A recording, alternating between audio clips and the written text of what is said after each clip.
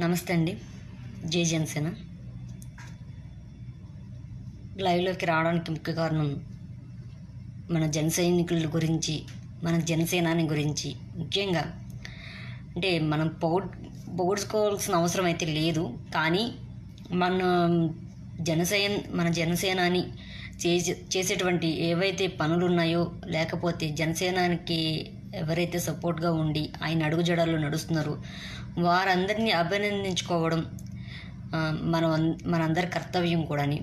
అలాగే ఈ కార్యక్రమాన్ని కూడా ముందుకు తీసుకెళ్తున్నటువంటి ప్రతి ఒక్కరికి కూడా ప్రతి ఒక్కరిని గురించి చెప్పాల్సిన అవసరం ఎంత ఎంత మాత్రం ఉంది.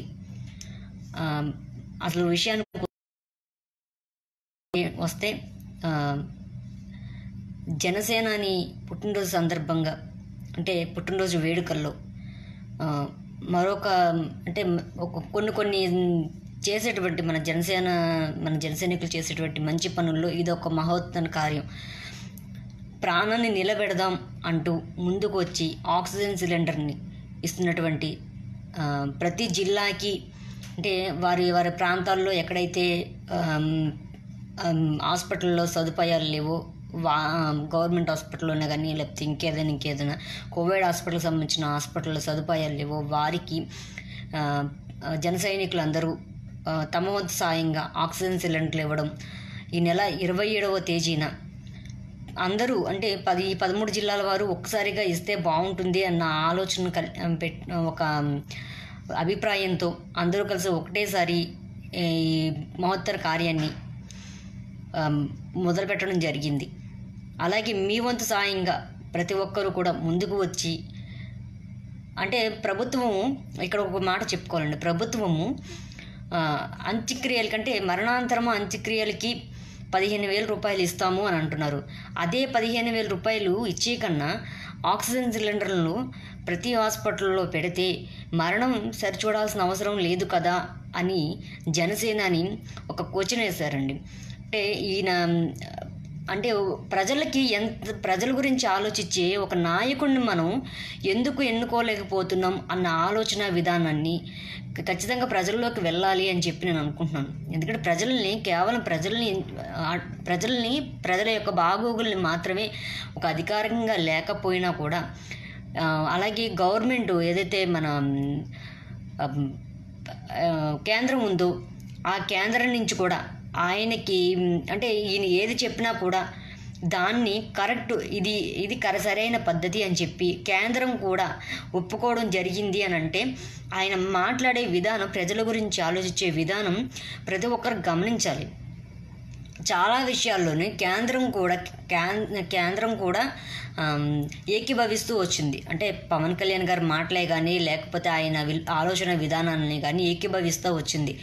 దీన్ని బట్టి అర్థం చేసుకోవాల్సింది ఏంటంటే ఇక్కడ మీరు వ్యక్తిగత విషయాలు తీసుకొస్తారు కదా ఆ వ్యక్తిగత తీస్ విషయాలు తీసుకురాకుండా ఆలోచన విధానాన్ని మార్చుకుని ఏంటి ప్రజలకి ఏ రకంగా ఆయన ఉపయోగపడ్డారు ప్రజల్ని ఏ రకంగా ప్రజలకి ఏ రకంగా మంచి జరుగుతుంది ఆయన మాట్లాడే విధానాన్ని బట్టి. అలాగే ఈ మధ్య కాలంలో జరిగేటువంటి ఒక ఆడపిల్లల విషయాలే కానీ లేకపోతే దళితుల మీద జరిగే ఘటనలే కానీ ప్రతి దానికి కూడా ఎక్కడ దాకా ఎందుకు? నిన్నగాక మొన్న మన టూ డే నాలుగు రోజుల నుంచో ఐదు రోజుల నుంచో వరుసగా వరద బీభత్సం తూర్పుగోదావరి పశ్చిమ గోదావరి జిల్లాలు అలాగే కృష్ణ ముంపు ప్రాంతాలు ఏవైతే ఉన్నాయో ప్రతి చోటన అతలాకుతలం అయిపోతే కనీస చర్యలు కూడా ప్రభుత్వం చేపట్టకపోవడము.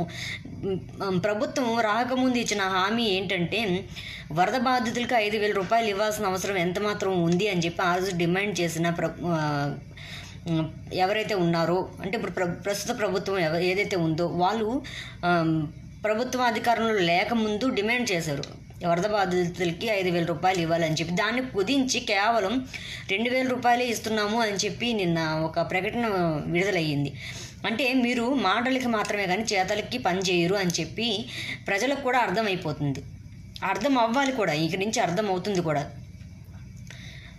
ఇకపోతే మనం చేసేటువంటి వినూత్న కార్యంలో అలానే అంటే ఇది ఒక మహాసంకల్పం. ఒక ప్రాణాన్ని నిలబెడదాము అన్న ఆలోచన కలిగినటువంటి ఆలోచన కల కలగడము దాన్ని అమలు చేయడం అన్నది సాధ్యమైనంత వరకు ఏ ఎవరు కూడా చేయలేరు ఏ పార్టీల్లో కూడా చేయలేరు. కానీ ఇప్పుడు ఎక్కువగా చే అనుకున్న కార్యాన్ని నిలబెట్టుకొని దాన్ని చేసి విధానాన్ని అమలులోకి తీసుకొచ్చిన ఆచరణలో పెట్టుకున్నటువంటి ఒకే ఒక పార్టీ ఒక మన జనసేన పార్టీ మాత్రమే. అది కూడా పవన్ కళ్యాణ్ గారు ఆయన వ్యక్తిత్వాన్ని భలే ఆయన వ్యక్తిత్వాన్ని ఆయన మంచితనాన్ని ఎప్పుడు కూడా మేము స్వీకరిస్తూనే ఉంటాము. ఆయన ఏం చేసినా కూడా దాన్ని స్వీకరిస్తూనే ఉంటాము.